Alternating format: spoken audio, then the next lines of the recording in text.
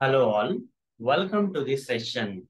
In this session, I am going to answer one of the Selenium interview questions. That is, how to find all the images on the web page using Selenium.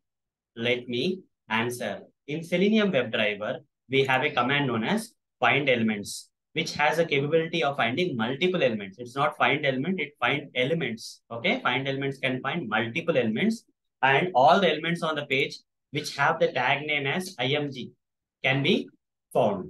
So img is the tag name for all the images. Okay, if you want to find all the images on the page, you have to say by dot tag name of img tag. Okay, img is the tag name, HTML tag name of all the images. That tag name you have to pass to the find element so that it can find all the images on the web page.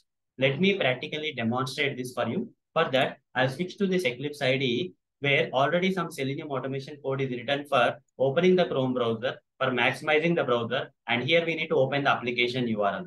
Let me take you to some sample application URL where multiple images exist. Okay. So this is the website tutorialsninja.com slash demo. And here's, I'll search for a product, any product, and uh, I'll go to the product page. Here you see there are three images. First image, this is the first image. And then we have this second image and this is the third image. Total three images are there. I would like to locate all the three images.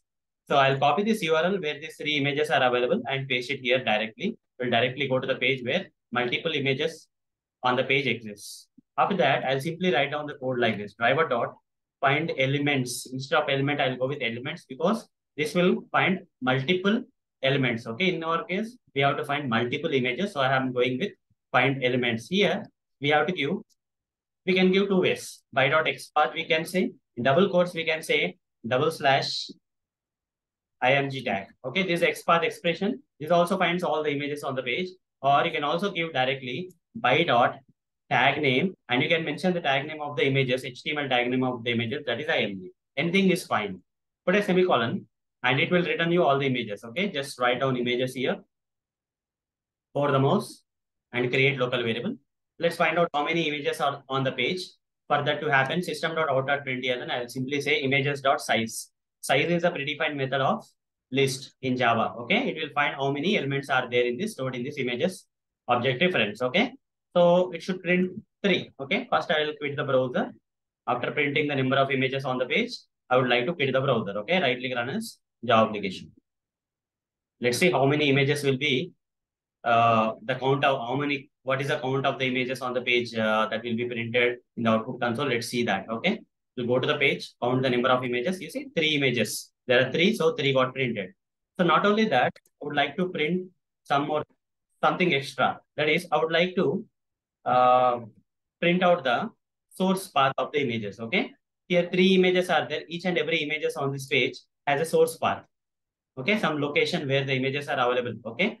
For example, this SRC of this particular image has this uh, as a source path. You see dot .jpg is there, okay? The remaining images also have its own source path. For example, this image has this source path, okay? Dot .jpg. This image is available at this location, okay? This source locations I would like to retrieve. For that, what we can do is just to separate, I'm writing this line after uh, printing the number of images and just uh, printing a line. After that, I'll print the source paths of all the three images for each and for each loop I'll use. For each and every image is a web element. So I'll say web element.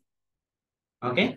IMG or image, image, single image, colon, images. Okay. This is a list of images. For each and every image in the images, I'll simply say uh, what I have to do, system.out.println, image dot, image dot get attribute. And here I'll give the SRC as the attribute name. Okay. So that it will retrieve the source location path of the each and every image. Okay. Now run the code. For three images, three source locations will be printed. So three source location paths of the images will be printed. Apart from the number of images on the page, that is three images on the page. For every three uh, every image, you see source location.